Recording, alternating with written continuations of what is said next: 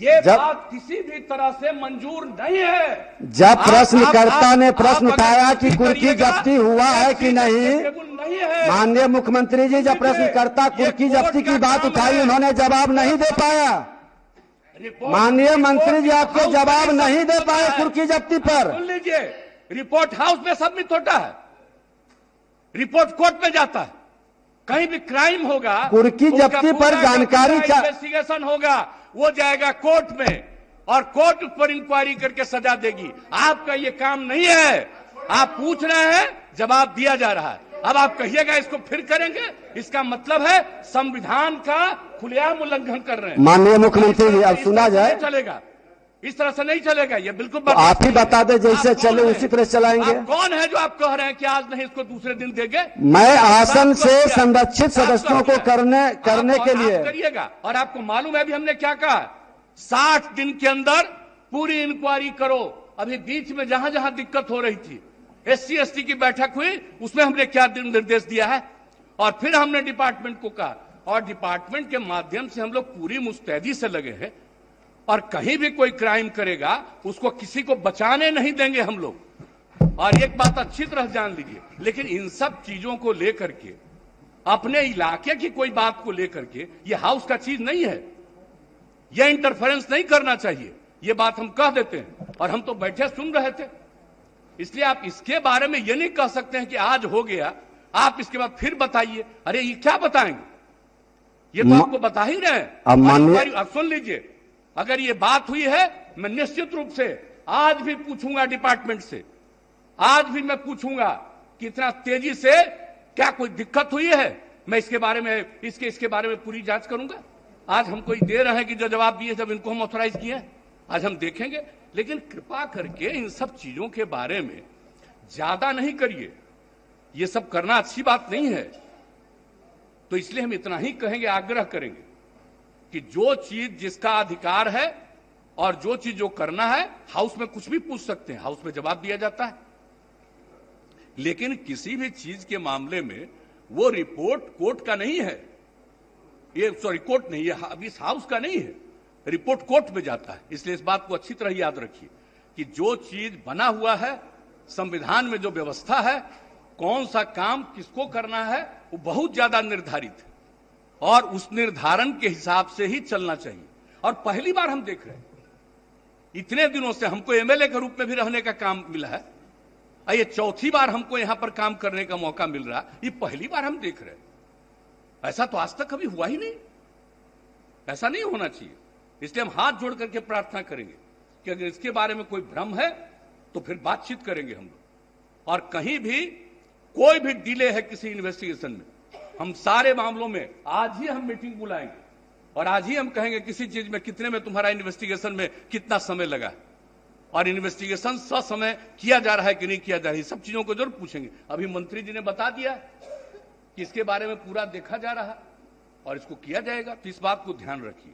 House में हर चीज़ को आज नहीं फिर कल ये हाउस का काम। अब माननीय मुख्यमंत्री जी सदन में जब प्रश्न आया कि इस कुर्की जब्ती कब तक होगा, और उसी में एक मामला इन्होंने जोड़ा जिसके कारण तीन बार सदन के अंदर सारे विधायकों ने उठ करके हंगामा किए, हमने आग्रह किया कि विशेषाधिकार कमेटी में चल रहा उस पर चर्चा नहीं होगी।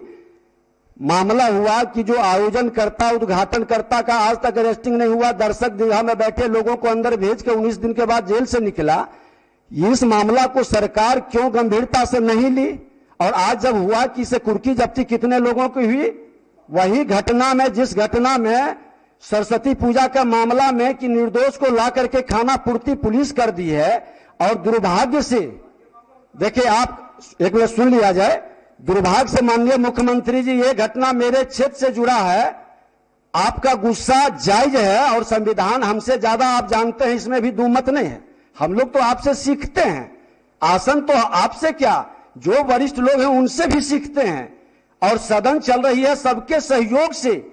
लेकिन आपके उस ज़ीरो टॉलरेंस का मामला, न्याय के साथ विकास का मामला, कानून का राज्य स्थापित करने का न बचाते हैं, न फंसाते हैं तो सदन तीन बार हंगामा किया, सारे पक्ष और प्रतिपक्ष के सदस्य खड़े हुए।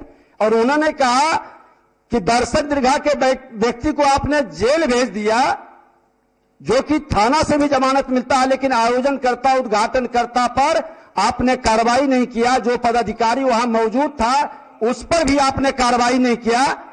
पूरी मामल नहीं, ये ये नहीं आसन को आसन को हतोत्साहित, डिमोरलाइज करने की सिर्फ़ बात नहीं हो। पारदर्शिता के साथ व्यवस्था बने।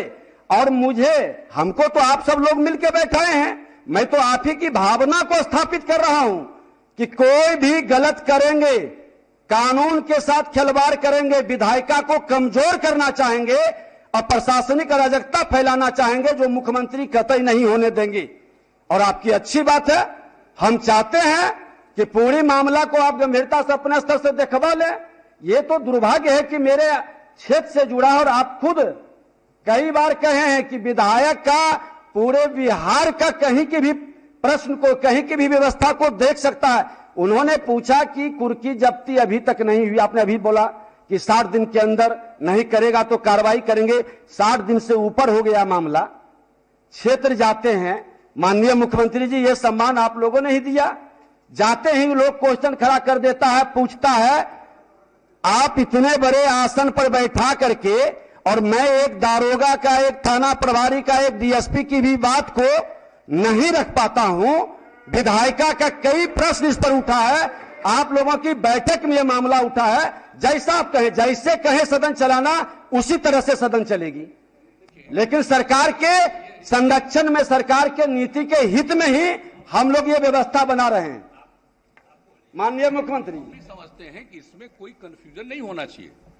अगर इस हाउस में कोई बात आया और आपने हाउस में कमेटी में वो बना दिया है वो कमेटी एक एक चीज़ को देख करके अपना रिकमेंडेशन देगी। और निश्चित रूप से जब कमेटी का रिकमेंडेशन आ जाएगा तो उसके बाद तो सरकार देखेगी उसको कि जो कुछ भी नहीं सुन लीजिए। अरे बता रहे हैं आपको। अब इस मामला को हम लोग यहाँ स्थगित करते हैं। आप अपने स्तर से माननीय मुख्यमंत्री जी देखेंगे अब मुख्यमंत्री जी है अब अवगत कराएँगे। अगर आप बीच बीच में बराबर बोलिएगा बात नहीं सुनिएगा तब हम कभी कुछ बोलेंगे ही नहीं। नहीं नहीं बोलिए। हम आपको एक बात कह रहे हैं। अगर कोई इशू हुआ है आज जिसकी आप चर्चा कर रहे हैं और उसको लेकर के कमेटी बन गई आपने उसको कमेटी नहीं मतलब उसको आपने दे दिया उसमें हाँ, विशेषाधिकार समिति को अब विशेषाधिकार समिति एक एक चीज़ को देखने के बाद अपनी राय व्यक्त करेगी। और जब अपनी राय व्यक्त करेगी तो हम आपको इतना करते हैं कि हम गवर्नमेंट में उस राय को फिर से विचार ज़रूर करेंगे और दिखवाएँगे कि एक तरफ़ से उन लोगों ने ये कहा और आप लोगों ने ये कहा है फैक्ट क्या है? उसको हम ज़रूर दिखवाएँगे। एक बात हम ज़रूर कहेंगे, लेकिन हाउस का काम है, वो कहेगा रिकमेंड करेगा, उसके बाद उसको फिर से दिखवाएँगे हम। और दिखवा करके जो कुछ भी असली चीज़ होगा, उस चीज़ को सामने लाया जाएगा। इसलिए इसके लिए अब कोई बात हो गई तो बात होगी, उसको रोज रोज चर्चा करने की ज़रूरत नहीं है।